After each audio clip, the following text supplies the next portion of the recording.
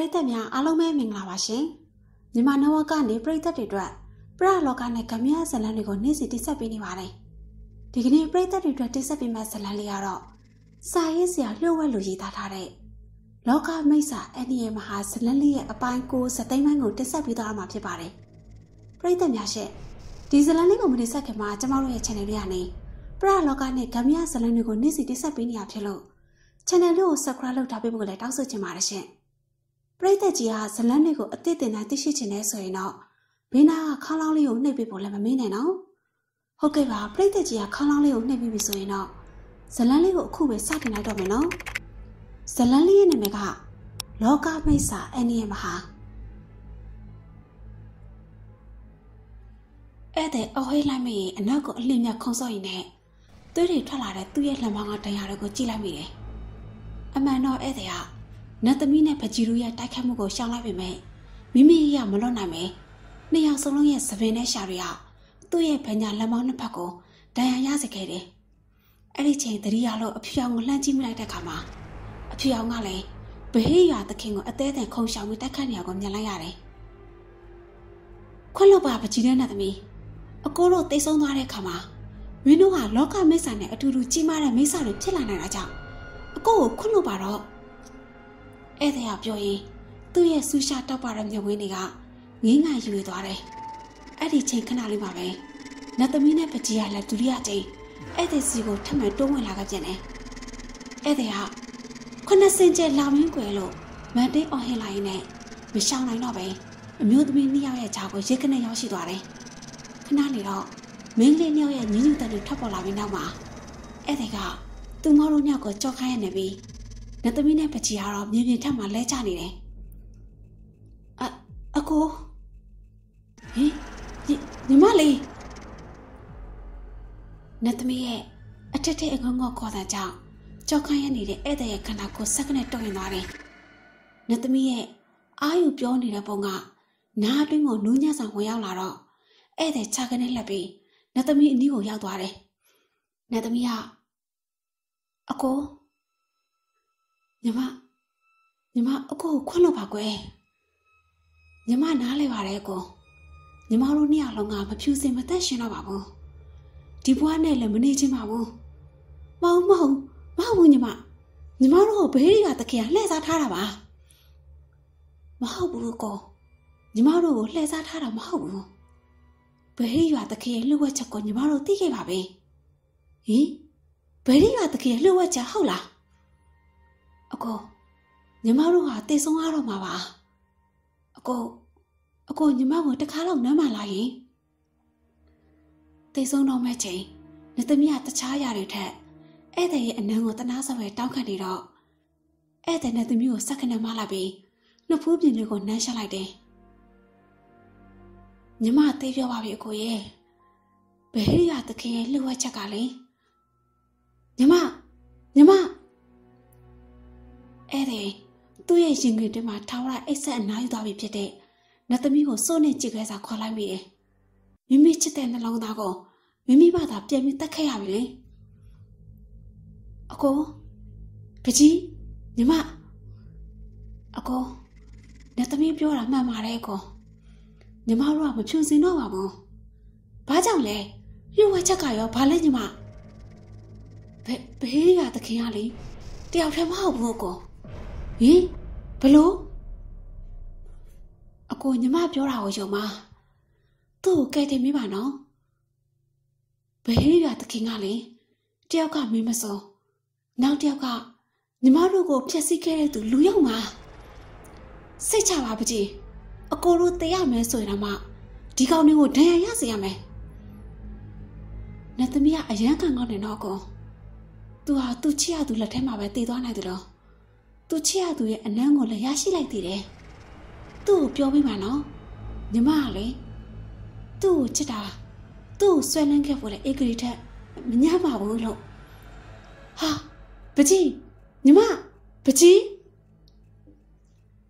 အဲ့တဲ့စိုးနေကြည့်ခဲဆိုအော်မိလိုက်တယ်။အဲ့ဒီချိန်အဖြူအောင်ကအချင်းကြီးစိုးနေတော့သူ့မင်းလေးညကိုချက်ချင်းပဲဘေးချင်းရှင်ထားလိုက်တယ်။ လေးပါကျက်တခင်ကထင်းတလောက်လည်းမစွမ်းပါတော့ကွာအထင်ကအစမ်းကခုခံနေပြီမေဘယ်သူကအစ်စ်ဘယ်သူကအတုဆိုတာကိုခွဲခြားလို့မရနိုင်ပဲဖြစ်နေတယ်ဘယ်ရိယာတခင်ရဲ့ကိုပွားတွေကြောင့်တစားတစားသူလည်းတရားရရလာခဲ့တယ်ရက်လိုက်စမ်းလူရုံမအမွားကြီးနာအဲ့တဲ့ရဲ့အော်ဒန်နဲ့တူအနီရောင်အလေးတစ်ခုဖြစ်လာပြီးနောက်မှာတော့အဖေအောင်အသက်ရှူချောင်းသွားတယ် အဖေအောင်ရဲ့ဘေးကိုအဲ့တဲ့ရောက်လာလို့ကြည့်လိုက်တဲ့ခါမှာတော့ဟင်သုံးယောက်ချက်ပဲအနီချမ်းပါလားသူလဲသုံးယောက်ချက်ပဲအဆောင်ကိုရရှိပေမဲ့အဲ့တဲ့လိုအယောက်တန်းအောင်မစွမ်းနိုင်ဘူးအဲ့တဲ့မင်းဘလုံးတော့ဒီဆွဲဟောင်းကိုထောက်တော့နိုင်တာလေလူရောက်မှာခေဆက်ဆက်ဘေးရတခင်ပြန်မကင်းနေဆိုတာနှစ်ယောက်တယောက်တိုက်တာကိုဒါကြောင့်မို့လို့ငါဆရာဖုံဖုံရှုံးနေခဲ့တာခမည်းတော်ရဲ့ဘေးဒီကိုအခုကြောက်သိသွားပြီ အဲ့ဒါမင်းဘာပြောလိုက်တာလဲအဖေအောင်ဒီကောင်ကြီးကတယောက်တည်းမဟုတ်ဘူးကွာလောကမိတ်ဆာအနေနဲ့ကြီးပဲတယောက်ကအရင်ဖြောင်းနေတာသူတို့ကအမွှာညီတောင်နေကွာဟင်တကယ်လားဒါကြောင့်တန်နိုင်တွေမှာစုတွေကကပြင်းတင်တာကိုတော်ပါပြီလေတော်ပါပြီလေ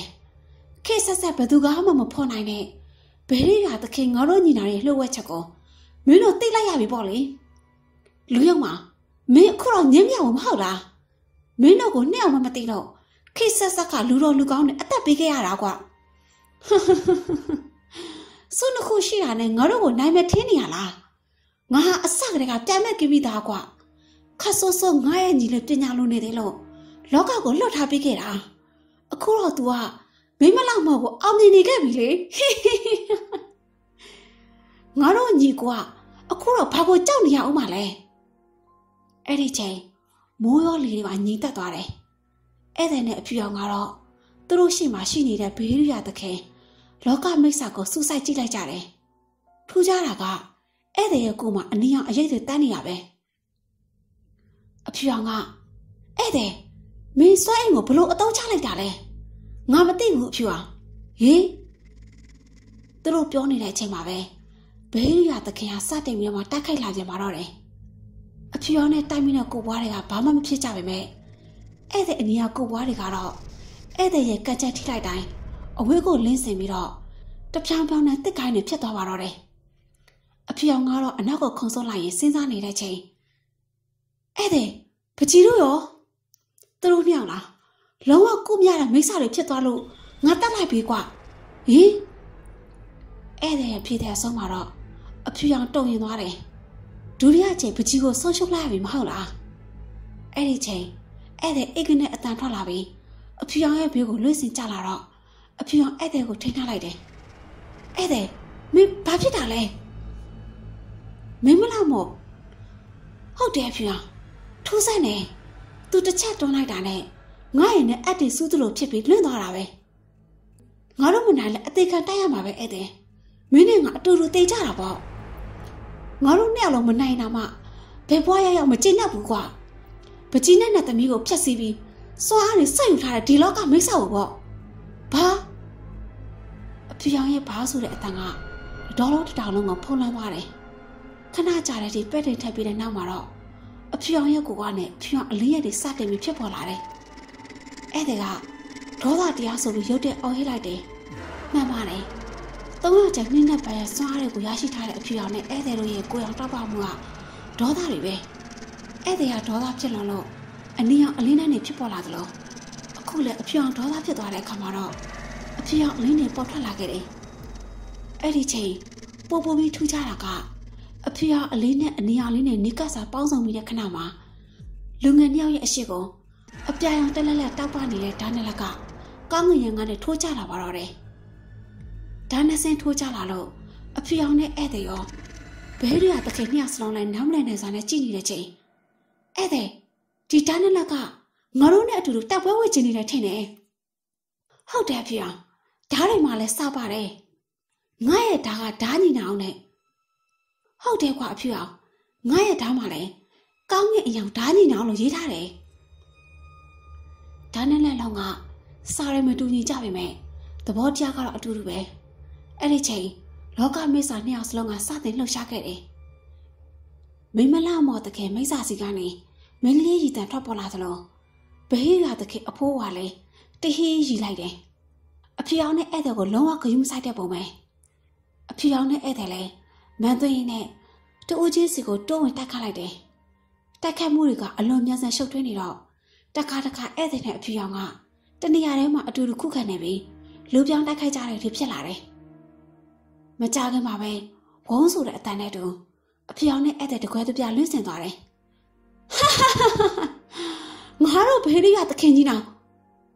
အာဘေးရီကသခင်ရဲ့အဖိုးကိုစကားတဲ့အဆုံးမတက်ခင်မှာပဲအဖေအောင်နဲ့ဧည့်သည်ရဲ့လက်အတွင်းကလွတ်ကျခဲ့တဲ့ဓာတ်နဲ့လက်ကတက်ရှိတွေလိုခုန်ထွက်သွားပြီးတော့လောကမင်းစာအမွှာညီနောင်နှစ်ယောက်ရဲ့လက်ပင်ကိုတီတီထိုးဖောက်လိုက်ပါတော့တယ်အဲ့လိုထိုးဖောက်ပြရနဲ့ ဓာတ်နဲ့လက်လက်ချက်ချင်းပဲပျောက်ကွယ်သွားပါတော့တယ်အဲ့ဒီအဖြစ်အပျက်တွေကိုအစာဆုံးမြင်တွေ့နေရတာကြောင့်အဖေအောင်ကငါတို့နိုင်မင်းဧည့်သည်ငါတို့ကအကူကြီးကြောင့်နိုင်ခဲ့တာပါဖြူအောင်မင်းနဲ့ငါတကယ်တော့အများကြီးနူးနေနေပါသေးတယ်အဖြူအောင်ဘာမှပြတ်မပြောတော့ပဲခေါင်းကိုပဲအသာငိမ့်လိုက်ရင်အတင်းရက်လိုက်တယ်သူ့ရဲ့တကူလုံးမှာသွေးတွေနေရနေသလားဧည့်သည်ကလည်းထိုးတူပဲသွေးတွေနေရနေတယ်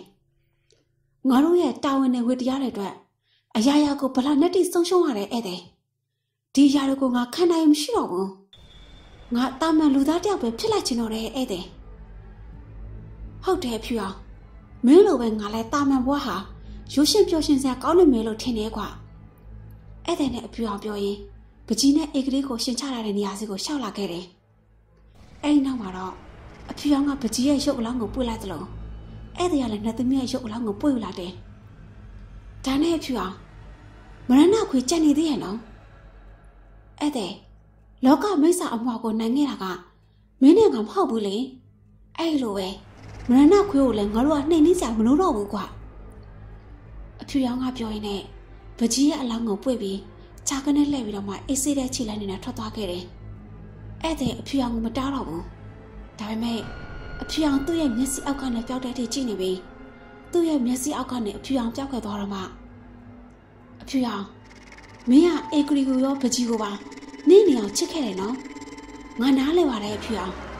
ဒါပေမဲ့အချစ်အတွက်အမှန်တရားကိုမင်းမမြင်နိုင်တော့ဘူး